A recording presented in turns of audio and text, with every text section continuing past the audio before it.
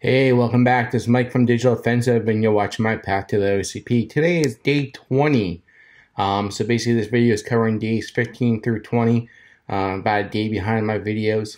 Current time, I got about 19 out of, uh, 19 boxes so far, almost a box a day.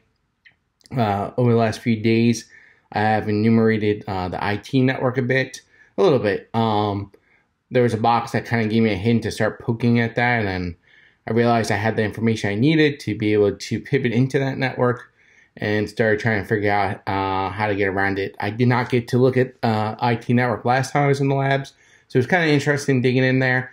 Um, spent maybe a day on that right now. Nothing compromised within that network yet.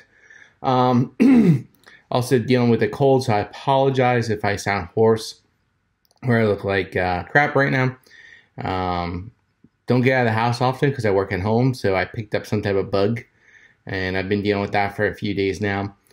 Um, let's see where we're at. So uh, a couple of tips here. Check out a tool called SQSH. SQSH.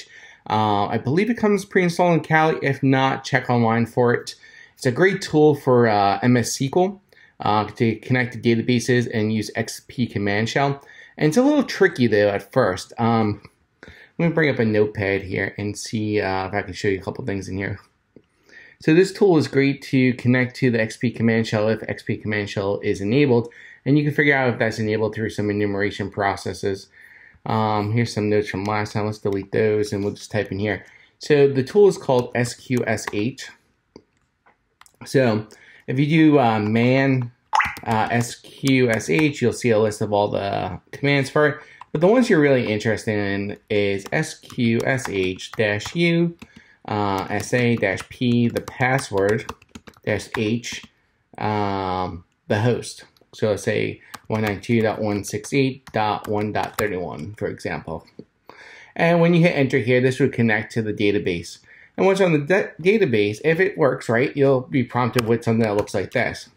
Doesn't really make much sense at first. You're probably to try typing commands like ID and nothing's to work. What you need to do here is xp underscore cmd shell space um, parentheses uh, or uh, double quote, sorry, and your Windows commands you want. and then after you do that, you'll get a line like this. They'll say two, and all you do here is type go, and then hit enter, and they'll execute your command. Now, if it executes your command, it'll tell you command execute uh, successfully, and it'll return null. Null means everything's good. If it returns error or any other value, bad. It means something happened to your command, it didn't work. So best way to use this is a lot of the Windows machines you'll encounter um, that have this vulnerability, you'll be able to log in 9 out of 10 times, uh, you'll be NT authority.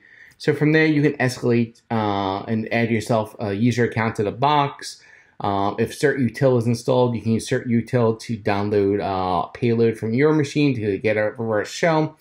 If CertUtil uh, is not there, you can try PowerShell.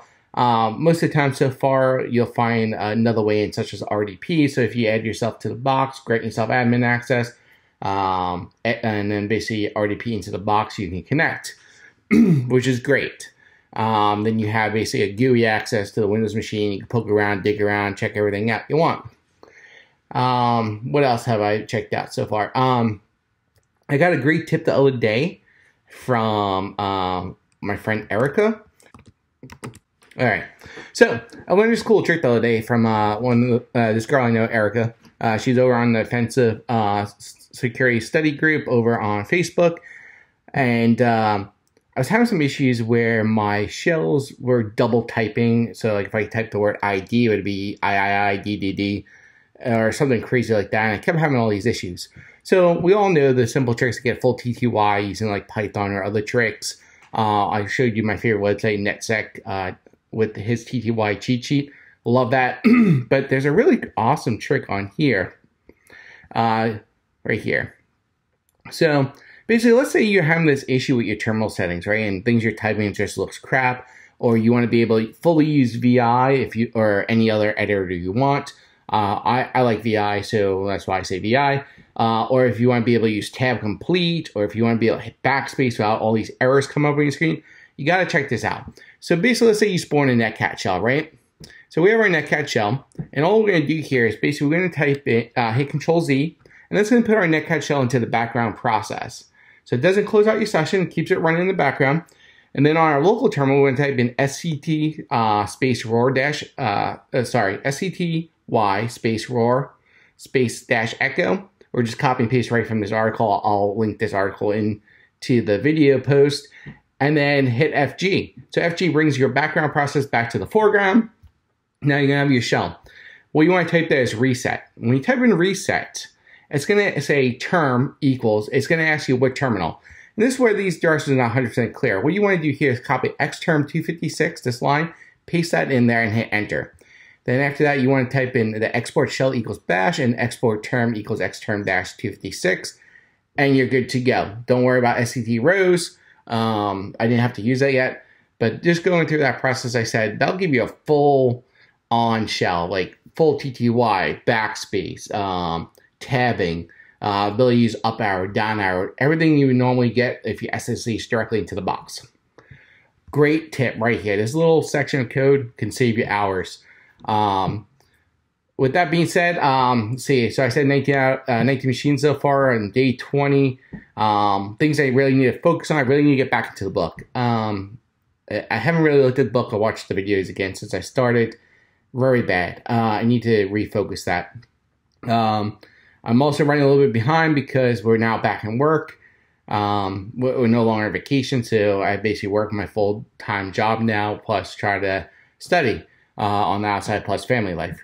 And then on top of that, I'm getting sick, so that's not good. With that being said, I'm going to wrap up this video today. Um, I didn't have anything crazy to go over. Just want to give you guys a quick update.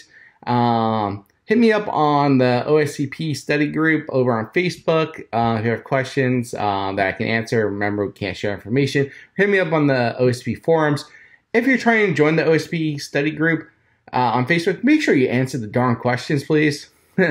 Uh, as mods, we go through and we read through all your posts that you guys post in there.